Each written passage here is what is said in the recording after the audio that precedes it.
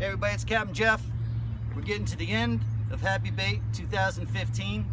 The uh, mullets are still in the canals thick. A lot of the bit, uh, tarpon and snook have uh, kind of, I don't know, slowed off a bit, but the offshore is going off. And there's ballyhoo piling through, still mullets coming through, all sorts of bait out there, herring, pilchards. It's still Happy Bait. Now look at here. Fishing slowed inshore a little bit. So how we roll down here in South Florida is we start doing a little bit of offshore stuff. Same skiff, same rods. The only difference is I'm gonna bring out my old International that I got rigged up on my kite rod. So I use that. This here kite, standard, I don't know, this is a fancier kite that they made me get. But uh, works great. You need a kite, and then all this tackle right here. Look at this. Bobbers, hooks, all this tackle right here. All you need is some bobbers, your regular hooks that you're already using, swivel. Swivel guys, this is your day. We're gonna use the swivel today. Ha! This is a 6.0 VMC tournament style circle hook. And if you look real closely, you see that little piece of elastic on there? That's gonna make sure that the circle hook doesn't swing back into the bait and hook itself. And if you ever have that issue, happens a lot with thread fins and bait, a little bit lighter baits, but anyway, you want that little piece of rubber on there.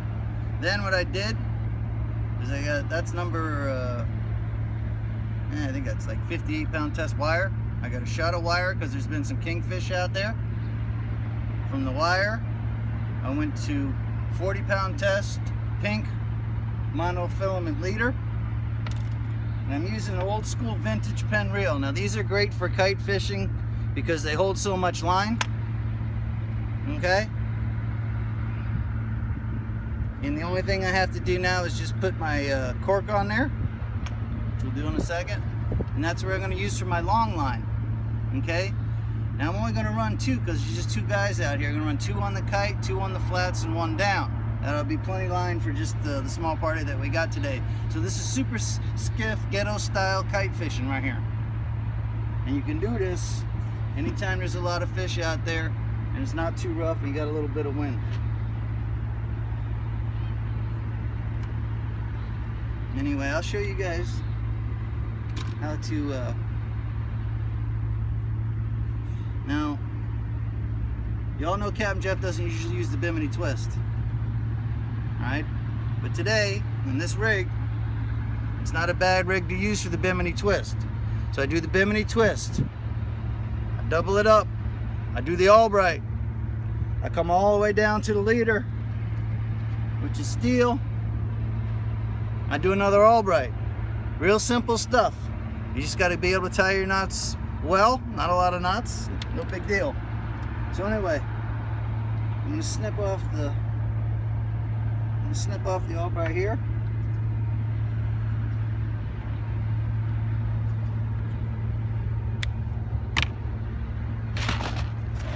Because because this is going to be the long kite I'm going to put a weighted big bobber on there. Put that weighted big bobber on there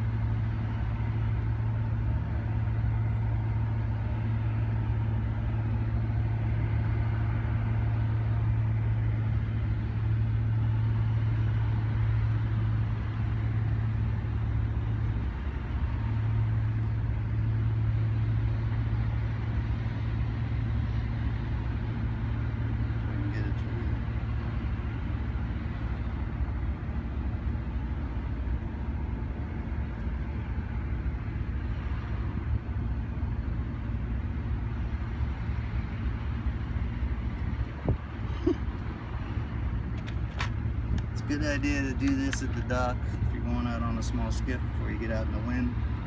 Make sure you can roll.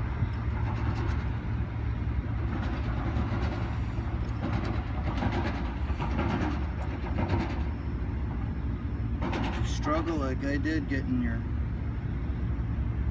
leader through your bobber. You can always just use your rigging needle. I struggled a little bit getting it through. The rigging needle goes through nice and straight and then I just pull it through. Alright, so anyway, I got my bobber. Okay, I'm gonna get rid of that Albright.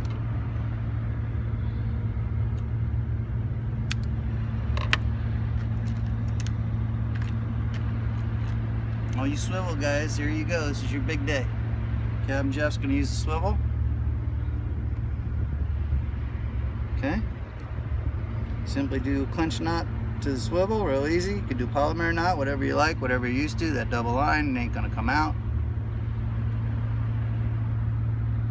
Knots always suck on camera, so if you can't tie a clinch knot, I know to tell you. It's like the easiest old and fishing knot, fishing knot in the world. And uh, get your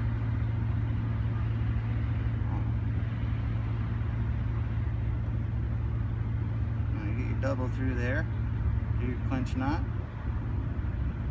Okay. Now what I like to do with my sailfish leader now is I'll just tie a little loop knot right here. Try to make it a little bit small. Do a tiny uh, loop knot. Okay.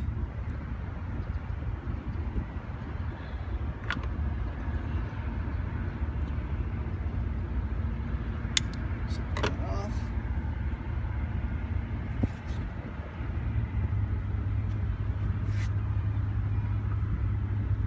That knot will go right in your swivel like that. And then if you're smart, you'll make four or five of those leaders with the loop knot at the end. And you start getting strikes out there, you're not taking your time to rig more leaders. Alright. So there you go. There's Captain Jeff's kite rig. Ta-da! Super skiff, ghetto style. You can get out there, get you a sailfish, mahi, kingfish. Run that dog, Captain Jeff.